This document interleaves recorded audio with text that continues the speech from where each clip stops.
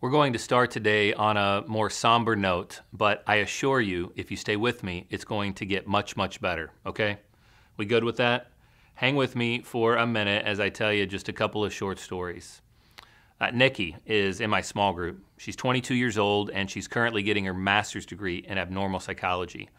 Her hope is to one day serve those with mental disorders. She's got a contagious personality and a good handle on what it means to be compassionate. Just last week at group, though, uh, a strong hush came over the room as she told us her story of being raped at the age of 15. Her seven years since that tragic evening has been met with many nights of pain, anguish, and screaming at God.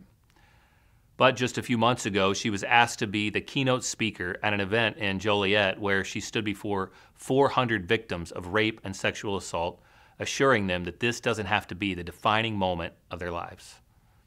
See, I told, I told you, didn't I? We're starting somber, but it does get better. Another story is about a man named Alex who has a wife of 12 years and two children. Every week, he's struggled with what really matters in life how to raise a family and how to make ends meet. His wife was baptized at community a few months ago, but Alex wouldn't ever attend church with her. She's been praying for him ever since her baptism. And eventually he came at the invitation of a next door neighbor, along with the continual prodding from his own children. Just a few weeks ago at our baptism uh, Sunday, where 215 people publicly declared their love for Jesus, Alex was one of the 215 standing in the water. You see, it does get better. Okay, last story. Uh, this past month, a woman named Stephanie stood in the lobby of our church on a Monday afternoon, and she was bawling her eyes out. She's a single mother of two children. She holds down two part time jobs and yet still cannot afford to stay afloat. She can't pay rent, buy groceries, or buy her children new clothing as they continue to grow. And she just got slapped with another $200 late fee for not paying rent on time. But the tears she cried in the middle of our church lobby were tears of joy because out of nowhere, and I mean out of absolutely nowhere, someone anonymously took care of everything. Do you hear that? Anonymously, someone paid her rent, her late fees, her groceries uh, for the month, and even some new shoes for her boys. She met this generous offering, uh, offering with a bucket full of tears. You see, somber, but it does get better. And today we're starting uh, sort of somber, but I assure you, if you hang with us for a little while, it will get better. You know, the pain you're going through or the pain you're going to eventually go through doesn't have to cripple you and it doesn't have to define you. If you've been with us the past three weeks, you know we've been walking through some pretty heavy realities of life. That life is hard, that not everything goes our way, that sometimes we seem to be in the desert for a long time. And we've called these seasons of challenged faith. You know, times when God doesn't deliver us from the struggle, but instead simply says, I'm going to be with you while you continue to struggle. And this can be challenging for us as we develop our faith in God because many of us have been taught that God is simply going to get us out of whatever we're going through. But as we've learned the past several weeks, His promise to be with us is far better than simply getting us out of whatever we're going through. In fact, where we want to land today is here. God wants to use the darkest part of your life to change both you and the world. Have you ever thought about, you know, suffering in that way? I, it's not God that caused the suffering, but God wants to use your suffering to change both you and the world. Your tragedy, your struggle, and your pain can be leveraged for the good if you'll allow God into the darkest part of your life. Author and pastor Rick Warren says it like this Your greatest ministry will flow out of your pain, not out of your strengths or your talents, but out of the painful experiences of your life. It is your weaknesses that help other people in their need, not your strengths. Do you believe that? Do you believe your greatest impact in life will actually flow out of your pain? It doesn't seem like this is really how life ought to work, does it? But you know, as we'll see today, it is often how God does his greatest work is both in and through us. As we conclude this series, we're going to look at a part of our pain and suffering we might not have seen before. You know, during the last few weeks, we've explored the plight of the Israelites as God led them out of slavery in Egypt and into the promised land. But the journey wasn't easy. It was difficult, it was long, 40 years long. And now they're about to enter the promised land. Moses has just passed away, and God has chosen Joshua as the new leader. He gives Joshua instructions about crossing the river into their new home, the promised land. And God tells him, I will give you every place where you set your foot, as I promised Moses. No one will be able to stand against you all the days of your life. As I was with Moses, so I will be with you. I will never leave you nor forsake you. God is coming through with his promise. The pain they endured wasn't meaningless. Their struggle built their character, and now they have in front of them the promise of God, having their own homeland, a place where they were going to be blessed so they could in turn bless the world. Now, you might be thinking, okay, that was their pain and that was how God comforted them. He gave them the promised land, which is great. But what about my pain? Is there any purpose to be found inside my pain and my suffering? Well, if you have a Bible or a Bible app, I want to ask you to turn to 2 Corinthians uh, with me for just a moment. It's in uh, the New Testament and comes just after the book of Romans. And let's take a look at what the Apostle Paul says to a group of Christ followers who are suffering persecution in their land. And we're going to start in verse 3 of chapter 1 says, Praise be to the Lord and the Father of our Lord Jesus Christ, the Father of compassion and the God of all comfort, who comforts us in all our troubles, so that we can comfort those in any trouble with the comfort we ourselves received from God. Now, let me ask you this, okay? What are you doing with your pain? Do you believe God can transform your pain and leverage it to bless others? Are you able to see any purpose inside your struggle? Or, okay, and this may seem a bit harsh for me to ask you, but are you and I, are we wasting our pain? This is critical for us to think about because if we can, if we just see the pain as pain, then all we're going to try to do is endure the pain, to get through it, hoping there's a better tomorrow, which can be exhausting and depressing. And it can wear us down even more. Okay, so let me let me ask a question you may have never previously considered. Have you ever wondered how your pain could be used to help others? Now think about that for a moment. Your pain, your struggle, your worst day or moment in time can be used to not only transform you, but others as well. Now, you may not agree with me, okay, but can you, for just a moment, be open to the idea that God can use whatever it is you're currently going through for good. Whatever the circumstance, He can transform it for a better purpose. We go back to Corinthians, Paul goes on to explain For just as we share abundantly in the sufferings of Christ, so also our comfort abounds through Christ. If we are distressed, it is for your comfort and salvation. If we are comforted, it is for your comfort which produces in you patient endurance of the same suffering we suffer.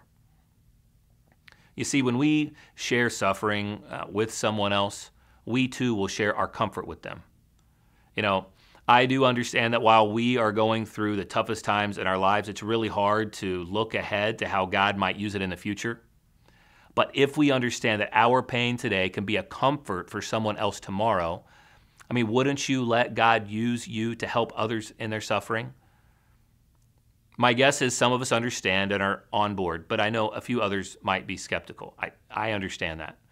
I'm a skeptic at heart, and it's very often, uh, very often difficult to see anything good coming out of the pain I'm going through when I'm going through it in the moment. But in an attempt to help us all begin to see how God can take the most tragic events of our lives and leverage them for something good, what I want to do is I want to share three stories with you today, okay? Three stories that have tragic, terrible beginnings, but beautiful endings. Three stories which remind us that while God may not have caused our pain, He can use it for the good. So the first story is about a woman named Annie Lobert.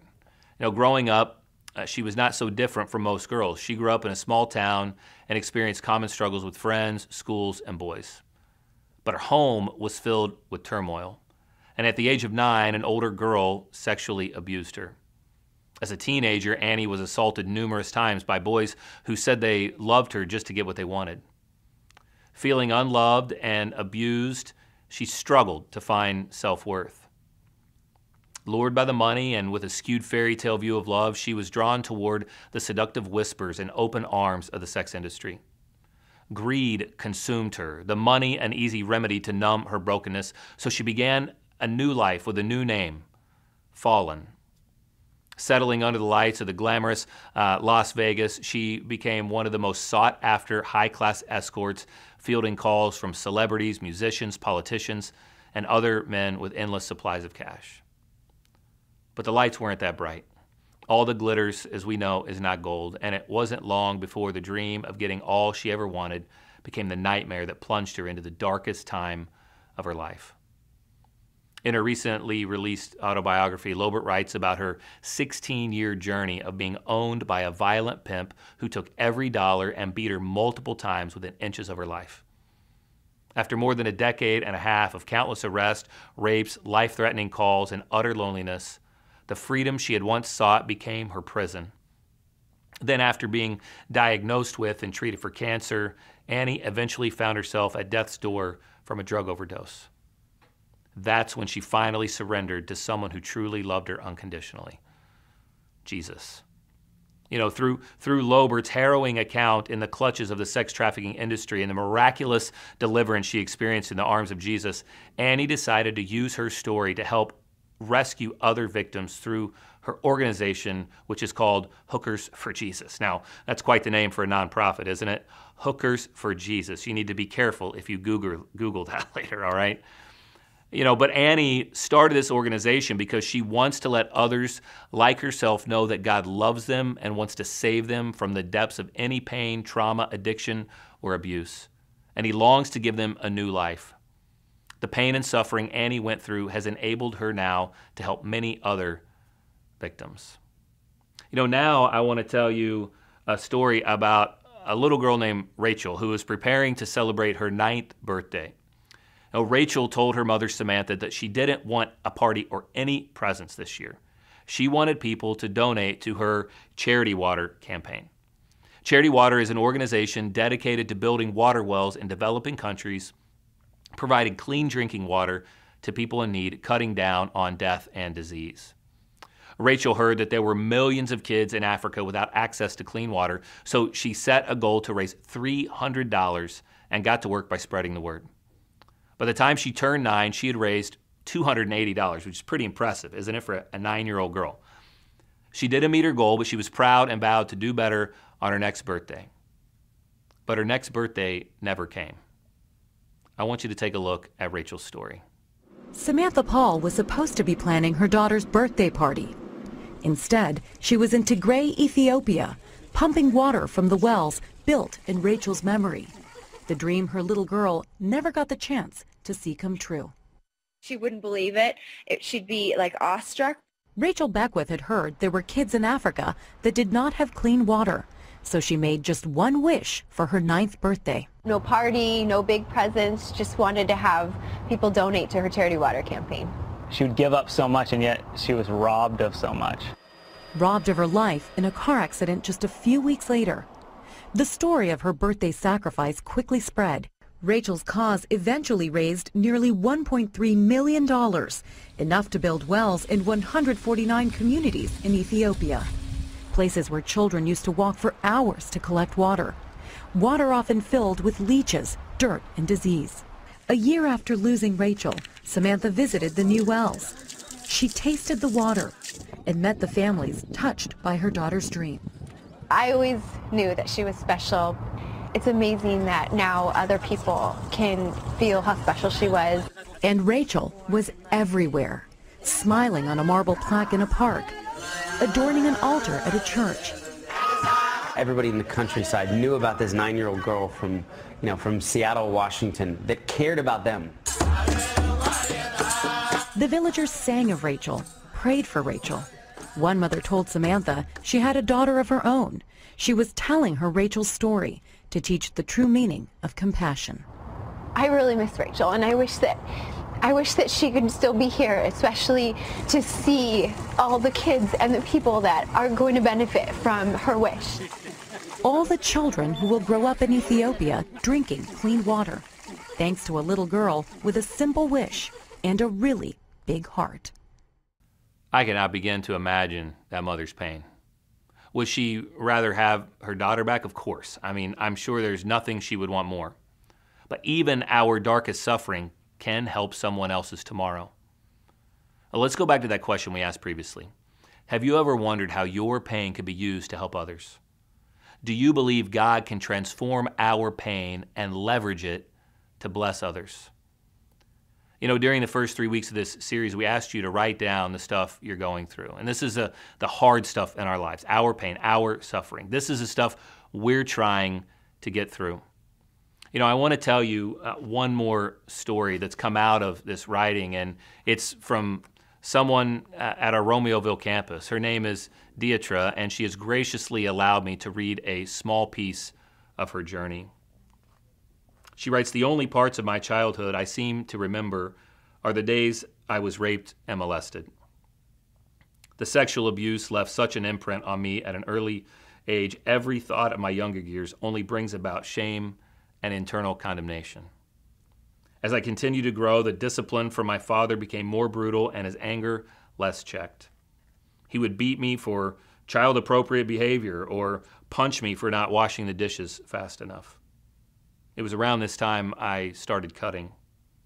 I craved release, and the cutting offered temporary release and something I could actually control. I bear the scars of that control to this day. After a particularly violent attack, he turned and came at my brother. I jumped between and took the blow. It was about that time the enemy had my full attention. And into my ear, the enemy whispered, See, you're not even worthy of saving.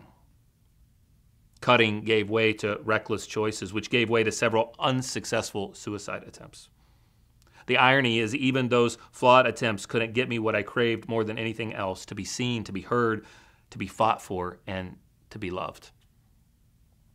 College was another trail of bad choices sexual promiscuity, broken dreams, excessive alcohol, and even some drug use. I'd spent so much of my life faking, pretending to be okay for others, all the while silently dying on the inside. I could smile all day long and would then go home and curl up on my bathroom floor to try and shake the numbness of being something I wasn't. To let the deception fall away and the agony of living another day come fully to the surface. I just lie on the floor and beg God to show me mercy and just let me die. If He hated me so much that my life was now worth nothing more than suffering, grant me this one little piece of grace and let me not see tomorrow. But tomorrows kept coming. Then one night, back on the bathroom floor, racked with anguish and the pain of simply being, I cried out from my exhaustion and honesty and truth, Why, God? Why aren't I ever good enough? Why couldn't my father love me? What's so wrong with me? Why do you hate me, God? Everyone who's ever supposed to love me has let me down and told me I didn't matter in some way. Why, God? Where are you? I screamed mockingly. Laying on the floor, in the dark, sobbing profusely, but finally fully exposed before God, I thought I heard the voice of God whisper softly to me, I love you. And it startled me. But God, there's nothing good about me. And that same voice whispered once again, But oh, my precious one, you are fearfully and wonderfully made. That was some years ago, and I'm still healing but I'm so thankful for that night on the bathroom floor when God whispered my name. Isn't that good? And now, you know, I, Dietra, uh, she's one of our leaders at Celebrate the Journey. She's strong enough to be weak enough, to, to allow her scars to be used to serve and help others. A C the J is better because Dietra is there, and Dietra is freer in life than ever before because she shares her story with others. So the question is what is the painful experience in your life that you want God to use for good in someone else's life? Who do you think you can share your experience with so they can receive God's comfort? Remember the words of Rick Warren your greatest ministry will flow out of your pain not out of your strengths or your talents, but out of the painful experiences of your life. It is your weaknesses that help other people in their need, not your strengths.